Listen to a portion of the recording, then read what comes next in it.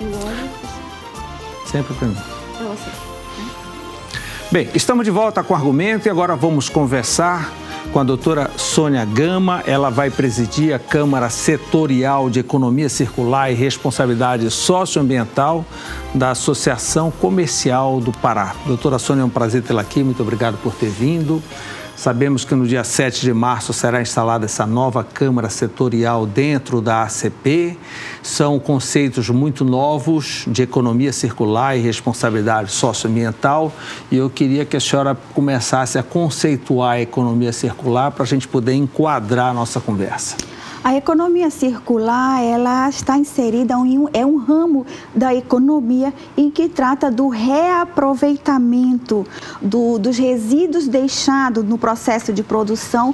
Esses resíduos são reaproveitados na economia, né, que vão gerar também outros produtos e, como consequência, outros produtos, outras riquezas, daí o circular, não é? E passa pela logística reversa. Sim, a, a logística reversa é uma outra ciência que complementa a economia circular. Ela, elas, se, elas se encontram no momento da sua da, da, da, da, integração das ações, né? Então, a economia circular, a, a, logística reversa, ela é um instrumento, ela pode ser um instrumento da economia circular que tem uma perspectiva mais ampla.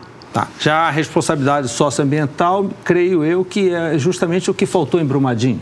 Sim, sem dúvida nenhuma, né? A responsabilidade social, socioambiental também traz uma perspectiva nova, né? Também traz esse conceito novo, também traz é, é essa gestão da empresa, dos governos, da sociedade, essa gestão, necessidade dessa gestão compartilhada que as empresas precisam estar inseridas para buscar um desenvolvimento é, efetivamente so, é, sustentável. Né? Então, hoje você busca uma.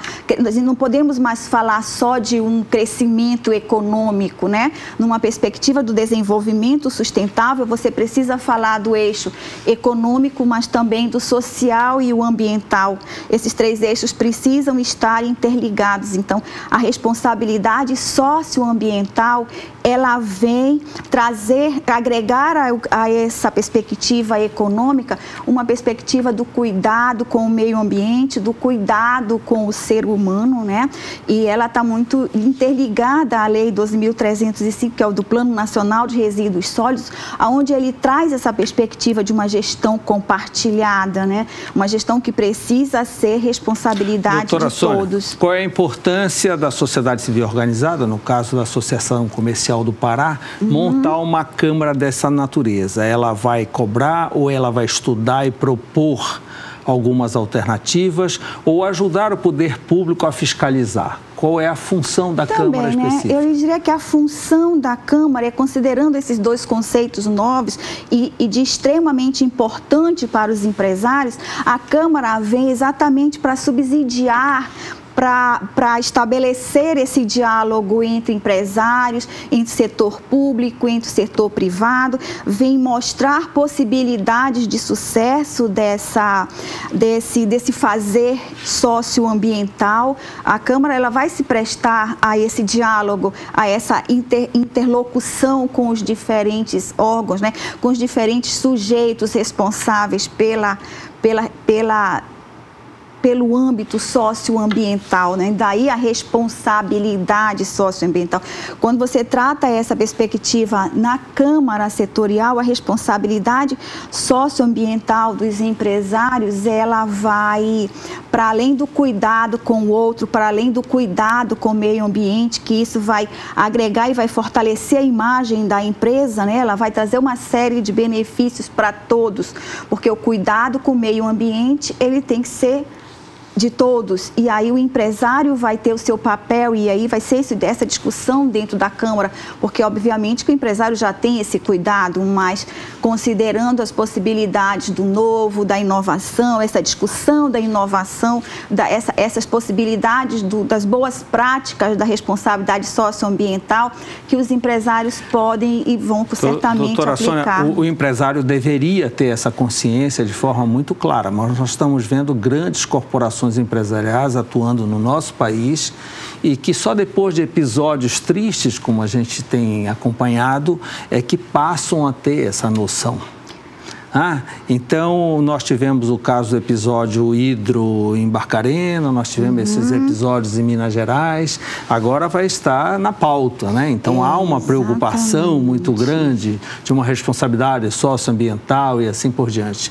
Infelizmente, é necessário que haja o problema, algumas vítimas, para que a gente se alerte para essa questão. Então, é de muito muito bem-vindo uma Câmara dessa, principalmente Sim. da sociedade civil organizada. Não é só aguardar que o poder público determine, seja fiscalizador, se a própria sociedade que é a que usufrui não participa. Né? Exatamente, a responsabilidade tem que ser de todos. A gente está vendo aí vidas que são perdidas, que, por mais que você ah, ouça falar em indenizações, isso não não não, não paga nada, uma é vida, não repõe uma vida, né? É. E se você faz um trabalho responsável, responsável socialmente, responsável ambientalmente, você cresce. Aí, por, porque quando você trata do desenvolvimento, trata de um crescimento, um crescimento sólido, um crescimento efetivo, um crescimento sustentável, ele precisa sim estar com os três componentes da, da, da, o ambiental, o social e o econômico juntos, porque se eles não estiverem juntos, a gente não pode falar de desenvolvimento, a gente vai falar de ações como a gente está vendo que aí vem exatamente o contrário. Vamos voltar um pouquinho para a economia circular. No Pará, nós já temos algum exemplo efetivo de que possamos lançar mão para começar uma campanha de organizações empresariais que já trabalham com economia circular, porque a cultura é de que a produção industrial é abundante e ninguém está preocupado com a logística reversa, que é um outro custo de voltar. Uhum. A gente vê que ninguém trabalha com lixo seletivo, nem o poder público, que nem nós culturalmente, né? Então a gente imagina que a gente ouve falar que o alumínio é infinito, que você amassa a latinha, aquilo será reciclado, mas fora a latinha, e o Brasil é o maior reciclador uhum, de latinhas de alumínio, uhum. né? Quer dizer, foi uma cultura muito bem posta. Fora esta latinha, nada mais é preocupante com a necessidade reversa. Como é que vamos mudar essa cultura? De que forma a sociedade civil pode ajudar para mudar essa cultura e que exemplo efetivo nós temos no Pará? Há uma expressão que diz assim, jogar o lixo fora, né? Jogar o que, não, que sobra fora. Mas quando a gente usa essa, essa expressão, a gente tem que se perguntar também, fora da onde? Fora do nosso ângulo de visão, né? Porque nós estamos todos no meio ambiente. O que é lixo você... para mim não necessariamente é lixo para tudo. não, isso. Os catadores têm nos mostrado que o lixo é um luxo, né? É. E aí a, esse lixo, ele gera, ele gera riquezas também, né? E aí a gente traz um exemplo que nós vamos apresentar inclusive no lançamento da Câmara no dia 7, que é do grupo líder, né? João Augusto, ele vem desenvolvendo é, pelos estudos deles e também na prática um exemplo, um caso de, de sucesso da utilizando a economia circular, a logística reversa dos resíduos do grupo líder de uma forma assim muito muito efetiva, de muito sucesso, de uma forma muito produtiva na reintegração dessa desse resíduo no meio da, de produção e como isso vem sendo aproveitado. E aí ele vai nos é, falar ele, isso no é, lançamento. O, grupo líder, no caso, é comércio, não é indústria, efetivamente. Então, ele Sim. recicla embalagens, coisas dessa natureza. Né? Sim, exatamente. Ele vem fazendo isso de uma forma bastante eficiente, utilizando a economia circular e mostrando, inclusive, essa possibilidade de lucro. E aí, não só, e aí eu trago também do lucro, porque é o que o empresário visa né? Mas não só o lucro, mas o cuidado também com o seu cliente. Então não é só ir comprar não é só fazer entrar no supermercado para fazer a compra, mas é o cuidado que tem com esse meio ambiente que é que gera todo essa esse esse mundo empresarial que tem esse cuidado também, mas ele vai nos colocar isso no lançamento, inclusive como uma das bom, e que seja palestras algo, algo magnas, né? efetivo. Né? Tem campanhas como o caso do canudinho de plástico que Sim, é cultural, não é? Uhum. que é cultural. O saquinho do supermercado, que é já para alertar a população da necessidade que existe, com referência inclusive ao meio ambiente e à recuperação daquilo que foi que foi usado em nível de embalagem. Né? Vamos ver aí essa questão da responsabilidade socioambiental, o que aconteceu efetivamente em Barcarena. Essas empresas que atuam nessa área, que é uma uma área, digamos, de economia pesada, grande Sim. economia, elas participariam de uma Câmara, elas se sujeitariam a discutir essa questão? Olha, eu penso que sim. Eu acho que todos estão interessados em buscar esse desenvolvimento isso traz lucro, isso traz benefícios para a população. Então não seria algo que é, fosse de ao, o, ao, encontro de. É, o de prejuízo encontro. de imagem que a Vale teve agora, que afeta ações na Bolsa, que afeta. Isso, e os impactos que, essa, que isso vai causar para a própria Vale, né?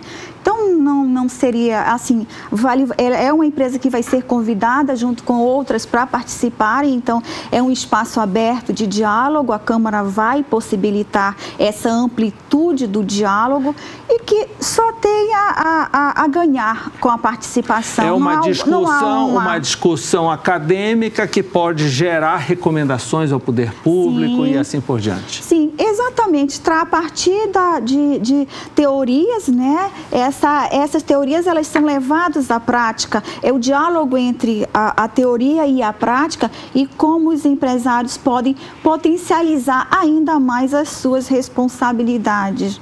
Se alguém estiver nos assistindo e já mexa com essas questões e gostaria de participar da Câmara, qual o procedimento? É só para associados da Associação Comercial? O, as reuniões vão acontecer, as, as, reuniões ordinárias elas vão acontecer bimensalmente a partir do dia 7 de março, que é o lançamento, e qualquer pessoa que quiser só precisa entrar em contato com a Câmara Setorial.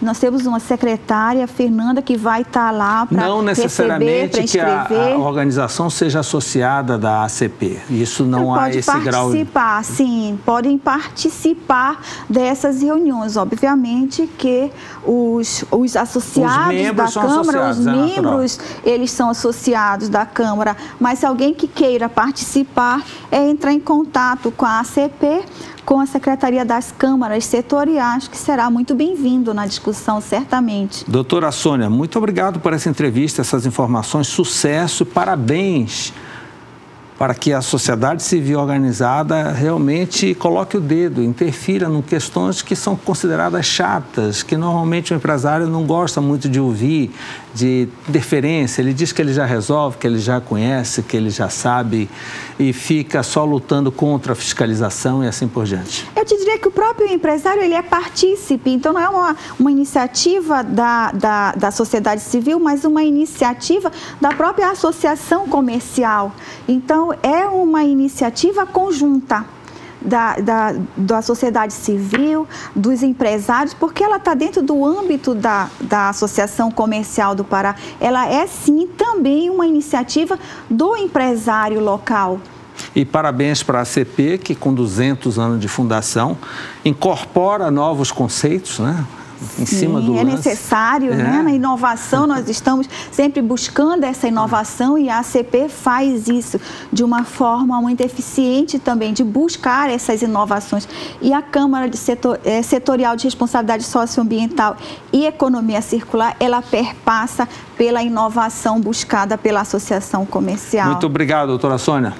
Obrigado Obrigada pela também. sua companhia. Nós estaremos de volta na próxima segunda-feira, no mesmo horário. Tchau.